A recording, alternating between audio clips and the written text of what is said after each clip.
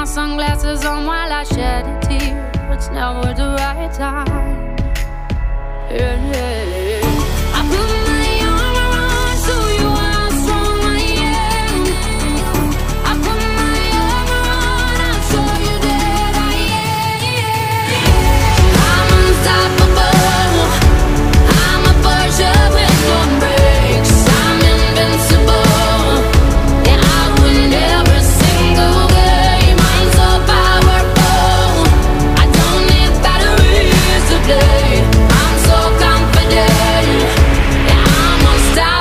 today.